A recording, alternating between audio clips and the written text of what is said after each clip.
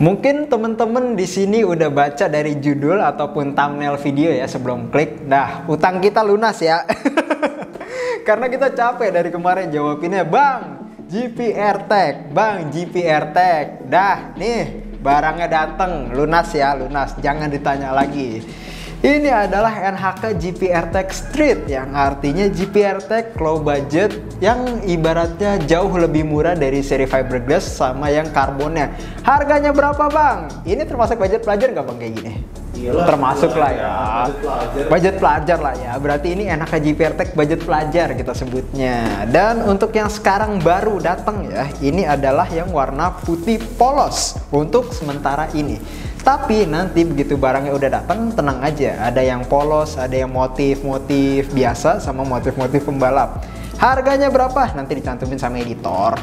Di sini gue mau unboxing aja dari detail NHK GPR Tech. Nih ciri khasnya sama kayak GP Prime, dusnya kayak gini juga. Terus ini helmnya.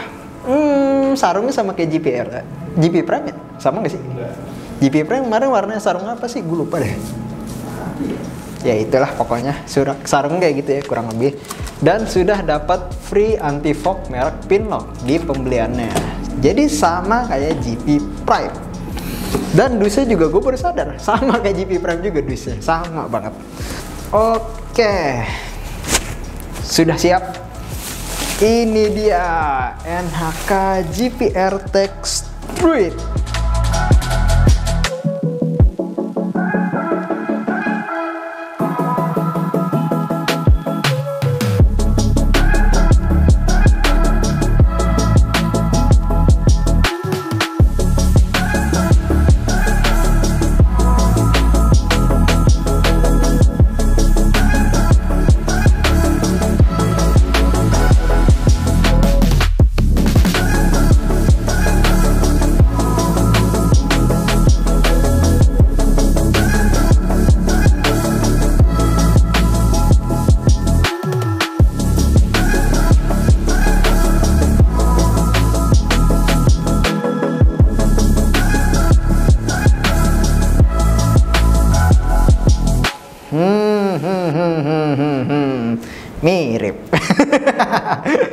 karena GP series. Dan gue melihat emang secara desain ternyata sekarang NHK mulai mengarah ke desain yang kayak gini nih. Tetap ciri khas NHK yaitu kalau kita ngelihat dari depan itu helmnya bulat. Tapi dia mencoba ibaratnya mengeksperimen atau mencoba bentuk baru di mana bagian belakangnya atau dari depan ke belakang itu meruncing biar mengikuti pasar sekarang yang cenderungnya pengen helm panjang-panjang meruncing begini. Bentuk bulat masih ada nggak sih bang helm sekarang desain-desain bulat? Paling arai ya, arai terus bel, terus apa lagi? HJC juga udah mulai meruncing HJC. Iya, Sedikit-sedikit udah mulai menghilang ya bentuk-bentuk bulat sayang banget tuh. Emang kalau bulat tuh cenderung klasik sih emang, cenderung kayak gitu. Nah ini adalah bentuk dari GPR Tech Street. Mirip kayak yang seri fiberglass ataupun karbonnya ataupun bahkan mirip kayak si GP Prime tapi ada pembeda yaitu GPR Street bahan dasarnya itu adalah ABS di mana itu ibaratnya uh, setingkat atau beberapa tingkat di atas termoplastik yang biasa. Terus kalau misalkan ada teman-teman bertanya bang bisa nggak dipakai balap? Itu dijawab sama NHK tegas banget. Tuh not for race uh, uh, tidak untuk balap. Dan dia nyantumin stiker gede banget no. Warning warning. Buat ngasih tahu kalian ini bukan buat balap ya. Karena secara bahan dasar masih ABS kalau kalian pengen yang balap beli yang fiberglass ataupun yang karbonnya. Gue asik loh ngeliatnya. Oke Iya, ini masih yang polos loh, belum yang motif. Tapi emang gue ada yang gue kurang suka sebenarnya curahan hati aja sih. Dari NHK itu adalah dia naruh logonya banyak banget sih di atas, di samping kiri kanan. Nah, untungnya di belakang gak ada. biasanya ada tuh. Senengan NHK biasanya ditaruh di belakang, tapi ini enggak. Berarti jumlah logonya cuma ada tiga di depan, depan agak atas, terus sama samping kiri kanan. Kalau yang di visor ini pemanis aja sih. Ini bisa dicopot kok yang di visornya tulisan enakannya terus ada sedikit spill ini tentang info uh, masalah busa dan batok dari si NHK JPR Tech ini. Di sini gue udah ada catatannya.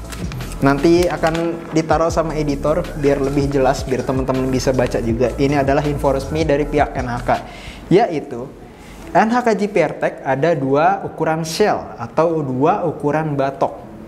Ukuran batoknya itu adalah sebutannya batok M dan batok L. Ingat, itu yang pertama. Terus ada empat ukuran EPS atau styrofoam di dalam. Nanti detailnya akan kita bahas di Kumpas Tuntas NHK JPR Tech.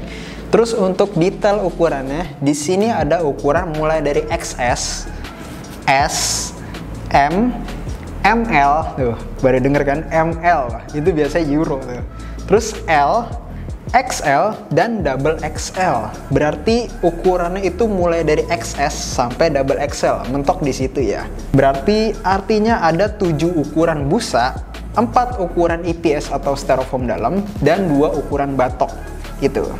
Nah, detail masalah itu nanti kita bahas di Kumpas Tuntas GPR Tech. Kenapa, Bang? Jadi uh, bisa dibilang ibaratnya apa ya? Pihak NHK ya. Jadi mereka itu ternyata mantau juga YouTube jagoan helm termasuk komen teman-teman semua penonton setia jagoan helm itu mereka mantau. Ternyata antusiasnya di jagoan helm GPR Tech itu gede banget Nah, maka dari itu, mungkin setelah video ini tayang, seminggu ke depannya, kita akan terus-terusan bahas GPR Tech tuntas. Nah, itu spesial buat kalian, pokoknya penonton tercinta jagoan helm yang bela-belain nungguin jagoan helm buat bikin video ini. Padahal banyak banget channel YouTube lain yang udah bikin unboxingnya, tapi kalian, wah gila sih. Terima kasih banyak supportnya buat temen-temen yang udah nungguin jagoan helm. Dan ada satu yang spesial. Kalau dari video ini antusiasnya gede dari teman-teman, kita akan mengundang satu pihak dari Enaka langsung yang akan menjawab pertanyaan seputar kumpas tuntas dari GPR Tech Street ini. Pertanyaannya di mana bang? Pertanyaan itu bisa kalian cantumin di Instagram tim jagoan. Sampai video ini dibuat, kalian masih bisa nyantumin pertanyaan itu lewat Instagram tim jagoan helm. Komen atau DM bang? Komen. Untuk pertanyaan, komen ya. Iya belum lama ini adminnya ya belum lama ini admin tim jagoan udah bikin postingan tentang si GPR Tech ini buat teman-teman yang pertanyaannya bagus dan menurut kita layak untuk dijawab nanti akan dijawab di video yang nantinya akan dijawab oleh pihak NHK-nya langsung NHK-nya langsung ya, bukan kita lagi yang jawab, bener-bener orang NHK-nya loh. ini ada kesempatan langka sih menurut gue, apalagi buat temen-temen yang bener-bener penasaran banget tentang si GPR Tech ini, kalian wajib bertanya di kolom komentar postingan di Instagram @timjagoan ya tentang si GPR Tech ini. Silahkan komen di sana. Sampai video ini dibuat masih bisa. Tapi Begitu nanti video Q&A-nya sudah tayang, artinya udah tidak bisa ya, karena sudah lewat kesempatan untuk bertanya tersebut. Oke, okay, back to topic. Balik ke helmnya. Untuk detailnya, untuk ventilasi mulut, dia slide seperti biasa. Tapi yang beda dengan GP Prime, ini cuma ada satu settingan aja. Dan untuk pengalihan dari anginnya ini, dia nggak langsung ke depan muka, melainkan ke depan nose guard sini untuk meminimalisir embun. Dan mungkin untuk meminimalisir biar nggak kelilipan juga. Emang gue sih ngalamin beberapa kali kalau yang ventilasi mulutnya langsung ke depan muka itu kalau ada kerikil. Ya berdoa aja lah. Nggak kucak-kucak mata. Terus yang pembedanya dari GP Prime adalah kalau GP Tech itu sama seperti seri fiberglass dan karbonnya dia ada ventilasi di jidat. Ini gue biasa suka nih ventilasi jidat ini karena biasanya dari semua sisi ventilasi biasanya jidat itu yang paling kerasa biasanya. Tapi nanti kita bikin road reviewnya. Terus ventilasi atasnya ini mirip banget kayak seri fiberglass dan karbonnya dan ventilasi atasnya itu mirip banget kayak GP Prime. Yang artinya kalau teman-teman pengen nyari spare part untuk ventilasi atas, bisa juga carilah yang GP Prime atau GPR Tech yang fiberglassnya. Terus ini ada ibaratnya improve dari pihak NHK yaitu bagian spoiler belakangnya. Kalau yang seri lama, kalau teman-teman mungkin nanti akan admin cantumin ya, ya admin, editor cantumin. Untuk spoiler lama tuh seingat gue nggak sepanjang ini dan ada sedikit kayak wing warna abu-abu gitu deh di samping sini. Seingat gue, nanti akan dicantumin gambarnya buat teman-teman ada gambaran. Dan untuk ventilasi keluar angin itu ada dua di sini. Tapi ini nggak bisa dibuka tutup. Kalau yang GP Prime yang bagian ventilasi belakang itu kan bisa dibuka tutup. Kalau ini nggak, nggak bisa dibuka tutup. Terus yang beda lagi dengan GP Prime dan ini adalah salah satu fitur juga yang ada di fiberglass sama karbonnya, visor lock. Tuh. Yang artinya sebenarnya ini helm ini siap banget buat balap sebenarnya secara spesifi, bah, spesifikasi sebenarnya ini siap banget buat balap cuman bahannya tidak rekomendasi karena masih ABS ingat tidak direkomendasikan untuk balap. Ingat itu. Terus apalagi bang? Ini yang jadi detail busa bawahnya seperti ini. Quick release sama kayak GP Prime bentuknya kantong gini. Ini lebih bagus menurut gua karena gak akan mudah sobek. Terus chain curtainnya tuh kayak ada dua lapis nih, lapisan atas sama lapisan bawah gitu tuh. Lucu. Terus di sini ada detail ini biasanya logo si apa ya NHK series yang kayak gini ya. Apa uh, eh, GP series gue lupa tuh. Jadi di bawah chain curtain ini di bagian karet itu ada detail logo NHK. Ini kalau nggak salah seingat gue ciri khasnya kalau yang seri full face ada logo kayak gini nih seingat gue. Terus di belakang juga ada karet kecil tulisannya Anaka. Gue seneng banget sih. Terus yang gue suka dari finishingnya ini rapih banget loh. Gila. Ih, asik banget ngeliatnya. Terus glasses fit nggak bang? Yes, glasses fit. Biarpun nggak ada tagnya, nggak ada penegasnya kayak GP Prime, tapi ini glasses fit kok, tenang aja, support. Tapi, hmm, tidak ada lubang intercom. Tapi ada yang lucu, dengan catatan yang tidak ada lubang intercom itu adalah size dari XS sampai ML. Tapi untuk size L sampai double XL itu ada lubang intercomnya. Nggak tahu. Dan itu pertanyaan yang gue dan Bang Semi tanya ke pihak NHK. Kenapa? Bisa dibilang masih rahasia lah. Tapi yang pasti, hmm, mungkin kalian bersabar deh buat yang punya intercom atau user intercom, apalagi yang kepalanya kecil. Ini sayangnya dan kalau kalian pengen bikin lubang intercom secara manual pun ini tidak bisa. Karena bagian samping ini ini tutup plastik, bukan langsung IPS. Nanti kita kasih detail deh gambarnya. Buat nunjukin ini bagian busa pipinya yang di space kuping sini ini tutup plastik sayangnya. Jadi nggak bisa bikin lubang intercom ya. Masih ada space ya tapi masih sih masih ada space. Cuman ya mungkin akan menyentuh kuping kalian. Terus cara ngatasinnya gimana bang? Gunakanlah balak lava. Biar kuping kalian nggak terlalu kegesek-gesek banget sama si speaker intercom. Saran gue sih itu. Terus ini apa bang? Terus ini apa bang ini padding tambahan untuk di kepala kalau misalkan dirasa fitting kepalanya masih kurang enak, ini kalian bisa tambahin lagi dengan padding ini. Dan tadi udah gue coba, yes, ini jadi nambah enak kalau ditambahin padding ini. Karena mungkin kepalanya, gue rasa sih gue ngerikasih padding ini sedikit tipis ya, sedikit. Jadi gue sih rekomend lebih baik dipakai aja untuk busa tambahan ini. Dan tapi, dan tapi, tapi lagi nih, tapi lagi. Padding tambahan ini akan kalian temui untuk size XS sampai ML lagi. Untuk yang size L sampai double XL kalian tidak akan dapat padding tambahan ini. Catatan ya, ingat. Itu.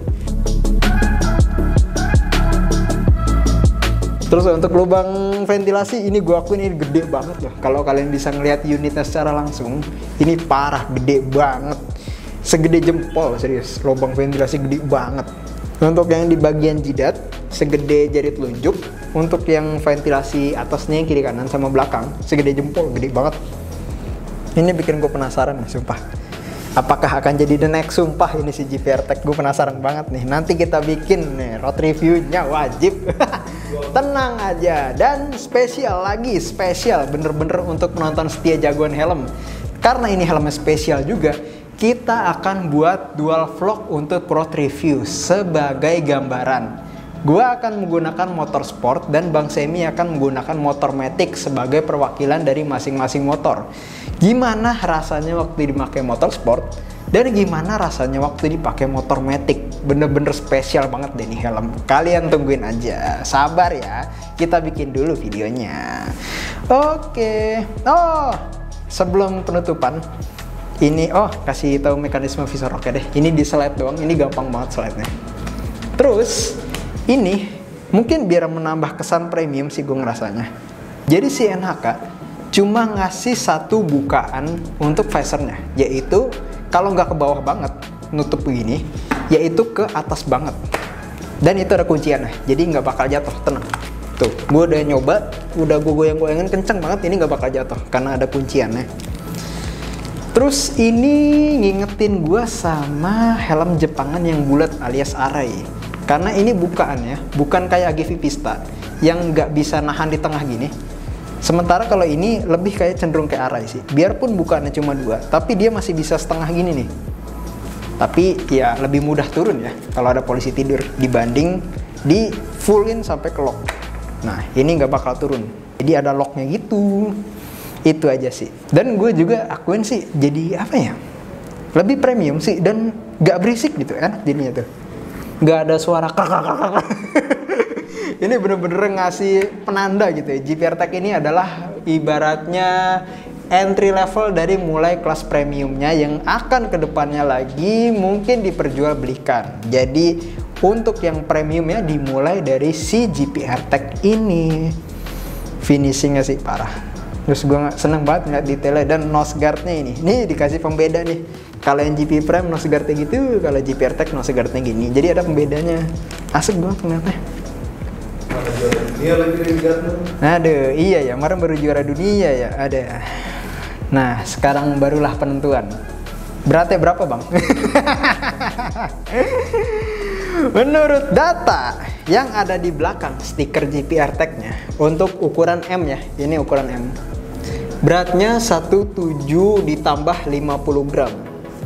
Jadi 1750750 gram untuk yang size M. Dan spesial untuk jagoan helm, kita itu dikasih sampel. Ada, dikasih sampel semua ukuran dari NHK GPR Tech. Ini adalah yang size L. Nih, kerasa nggak beda gedenya? Mungkin kalau di video nggak terlalu kelihatan ya, tapi kalau kalian langsung ini yang L-nya gede banget lah. Dan untuk yang L beratnya adalah menurut data 1750 ditambah 50 yang artinya 18. Beda 50 gram antara M dan L. Tapi di sini akan gue timbang lagi apakah benar sesuai stikernya. Nih dah ya dari nol ya. Mulai dari hehe nyenggol. Dari yang M dulu. Ini mungkin hitungannya sekitar 20 gram sih yang busa tambahannya. Sekitar ya. Untuk yang batok M dan size M 1670.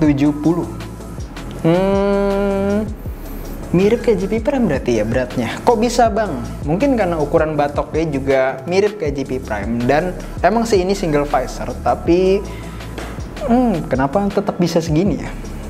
Tapi tenang, berat itu nggak menjamin waktu dipakai helmnya akan bikin pegel. Nanti akan kita coba di road review. Sekarang gue mau coba timbang yang batok L dengan size busa L. Nih yang L. Mungkin kalau kelihatan nanti.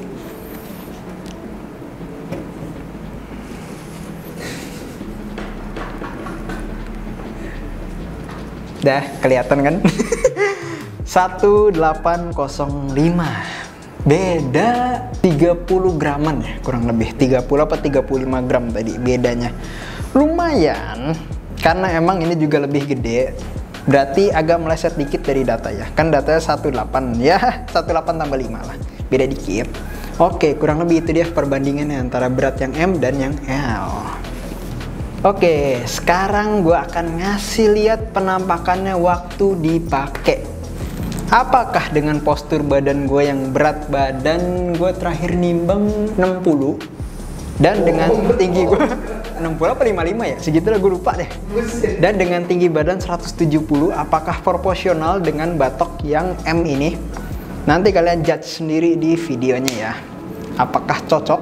Dan mungkin buat gambaran teman-teman juga yang mungkin postur badannya sama kayak gue Ntar kacamata juga gue minjem kacamata Bang Sem buat ngetes apakah glasses fitnya enak dipakai.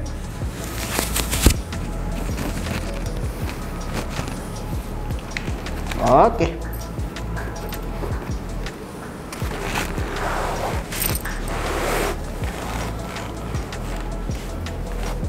Nah, gimana? Menurut kalian, apakah kegedean atau proporsional pas? Dan sebelum road review, sedikit gue spill gimana feel dipakainya. Sumpah enak. Kayak GP Prime ternyata, nggak beda jauh. Gila NHK, good job. Sama kayak GP Prime feelnya, enaknya sama. Tapi ada tapinya. Ini gue baru first impression, fitting di ruangan, gue ngerasa berat di spoiler ini. Beda dengan GP Prime, yang di mana dia beratnya itu seimbang antara depan dan belakang. Tapi ini gue ngerasa gue kayak agak dijambak dengak gini nih untuk si GPR Tech. Berarti kalau gue masih perkiraan ya, kayaknya ini bakal lebih cocok di motor sport. Tapi nanti akan gue buktiin deh di road reviewnya. Sekarang gue mau minjem kacamatanya Bang Semi. Apakah framenya masih enak dipakai untuk di GPR Tech ini? Ini frame Bang Semi yang model gini ya. Tuh, kalau kelihatan di video. Karena frame kacamata kan beda-beda. Ih, gampang banget masuk ya. Ih, enak, serius. Gampang banget masuk ya. Ini gue di luar balak, nah. Kalau teman-teman lihat. Kan biasanya ada beberapa helm yang kacamatanya harus di dalam balak. Tapi ini di luar balak enak gampang banget masuknya gampang banget oke kurang lebih gitu. Ntar minus lagi mata gue minjem dong ya guys. Lumayan. Buat ngasih tau aja. Hmm visor locknya hmm mana ya? Ih gampang lock ya ih gampang banget. Terus kedap loh. Parah kedap banget. Ini penampakan dari depan. Samping samping belakang. Gimana? Eh ngembun. Ngembun guys. Oh karena ini sih. Gue pakai balak soalnya. Dan ruangannya berasa ya makanya ngembun Gimana? Apakah proporsional untuk badan gue yang kayak gini? Coba kalian komen di bawah deh. Oke, kurang lebih itu semua udah disampaikan mulai dari detail helmnya, beratnya, harganya, dan penampakan waktu dipakai. Dan ada tambahan, ini spesial buat kalian user dari si GPR Tech nantinya. Kalau dirasa busanya kurang pas, itu kalian bisa request size. Misalkan kalau kalian pengen busa pipinya itu S dan busa kepalanya M, itu bisa. Selama itu kalian request dulu ke pihak NHK-nya yang nantinya akan disampaikan ke jagoan helm dan itu akan dipesankan khusus lewat jagoan helm. Nah itu gimana caranya bang? Ya bisa kontak admin atau sales online kita aja. Nanti langsung dipesenin ke NHK-nya Gue pengen saya sini busa pipi ini Bisa banget. Spesial buat kalian nanti calon pembeli dari si NHK GPR Tech ini. Bener-bener dimanjain banget ya gila. Itu feel premium. Feel premiumnya kerasa banget deh gila. Pelayanannya, finishing helmnya Wah. Kayaknya ya kayaknya. Gue bakal beli Kayaknya, karena gue sekarang lagi butuh helm full face buat harian. Tapi penentuannya nanti akan gue cobain dulu di road review. Kalau beneran ini enak dan cocok di motor gue, gue sih kayaknya beli ini. Hmm. Oke, kurang lebih itu dia video unboxing kali ini. Semoga teman-teman gak bosan nonton sampai akhir dan udah lunas ya utang kita. Udah kita unboxing si GPR Tech ini. Terima kasih buat teman-teman yang udah nonton dan buat yang mau mampir ke toko bisa datang aja ke Grand Galaxy Ruko Arcadia yang masih bingung bisa pakai aja Maps Diagon Helm dan buat yang jauh pengen beli si GPR Tech ini bisa pakai marketplace atau online shop bisa klik di deskripsi bawah langsung aja. Gue Raditya Nari, kita ketemu lagi di video selanjutnya. Thank you.